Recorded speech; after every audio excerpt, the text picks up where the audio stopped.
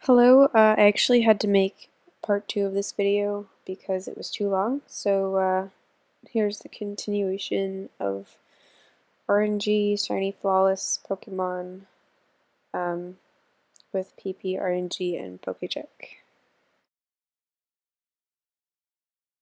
Alright, so after you've uploaded it, this is what you should see.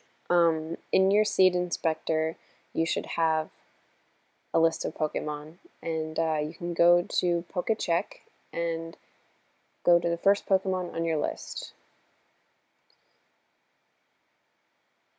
which will be that Vulpix.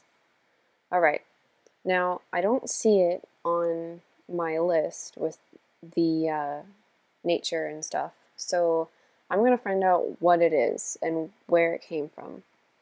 So the best way that you can do this that I found out was if you click on the Pokemon specifics and scroll down, you'll see this number, uh, 1B4 something something, you know, it's different. Um, so you want to go back to your seed inspector and click on the uh, PID. That's the Pokemon ID.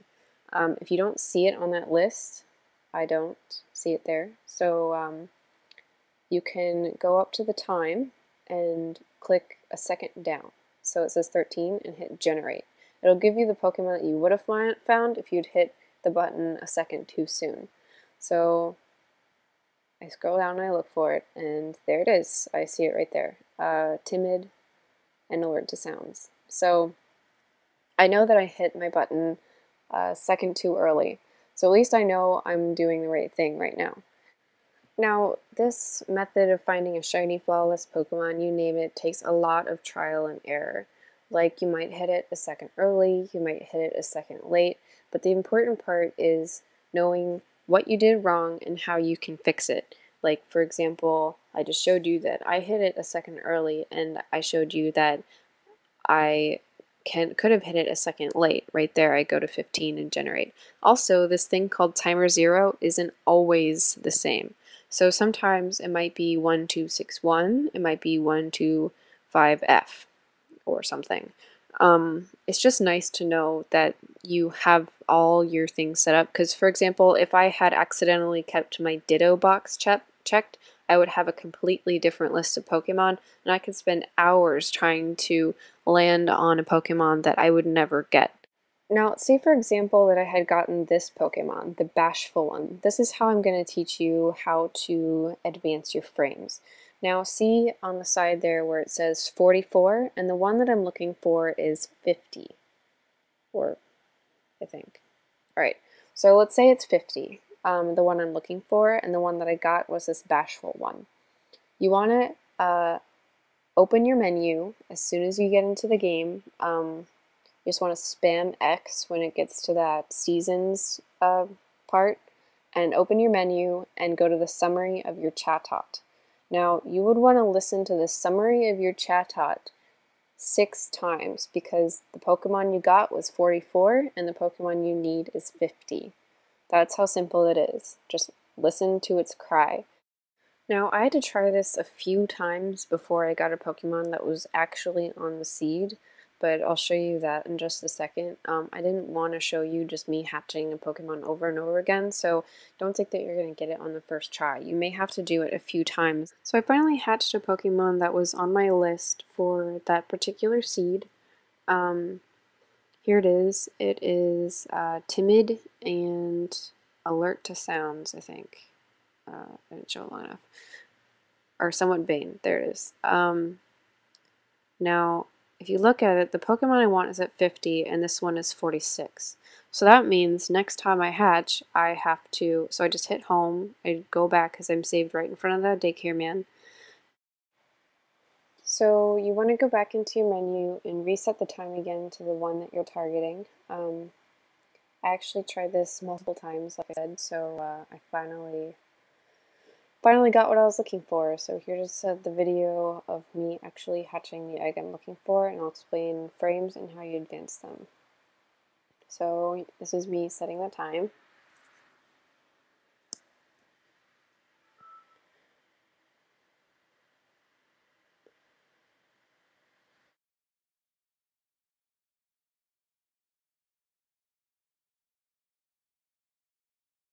So as I said earlier, the Pokemon that I hatched after grabbing it right from the daycare center was uh, frame 46, and the one I'm looking for is frame 50.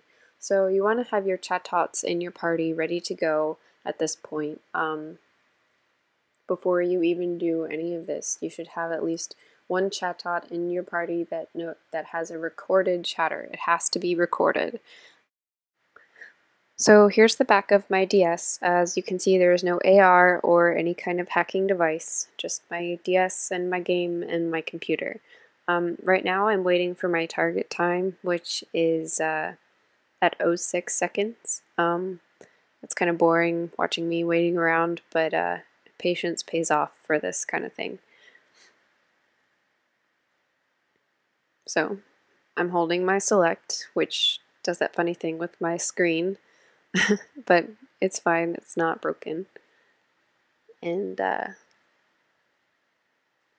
you want to hold your select and not like click it through this part. You just want to hold it until you see the uh, little cinematic for Game Freak and then you're good to go to let it go. So you want to hit A pretty quickly through this and uh, start spamming X as soon as you pass through that part of the menu. This will open up your Pokemon uh, party inventory thing. Um, so then you just click on your Chatot and hit summary. Do not hit chatter. That'll uh, kind of screw you up. So you just want to flip between the two uh, Chatots until you hear their cries four times, which is what I need to do, and then immediately pick up the egg. Alright. Now this part's kind of boring because you're going to watch me hatch it, but it's well worth it.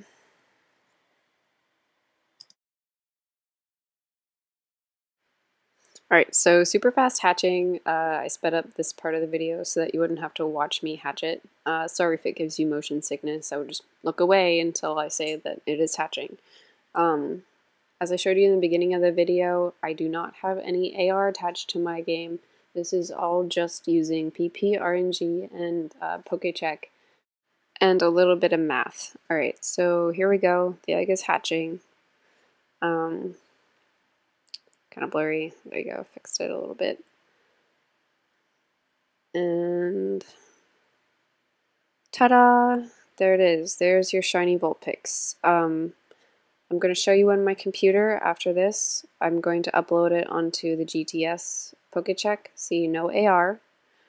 And uh, I will show you that it is also flawless, meaning 31 IVs in every stat, and it has its Dream World ability Drought there it is. Awful cute. Um, so that's pretty much it. Uh, once you got it down, it's pretty straightforward. Um, it can sound really confusing and really overwhelming the first few times you do this, but once you get it, it's like it comes to like common sense. Um, I'm actually new at this, so I thought I'd make a video because I feel like maybe I can answer your questions better than someone who's been doing it for a while because this really confused me when I first learned it, and I thought for a really long time that I was way too stupid to learn RNG.